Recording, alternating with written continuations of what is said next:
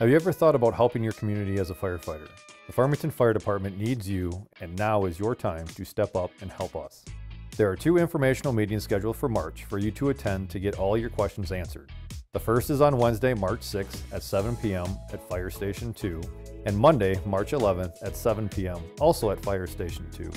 We will have firefighters on hand to show you the gear, tour the station, and explain what is expected of a paid on call firefighter. We also encourage you to bring your spouse.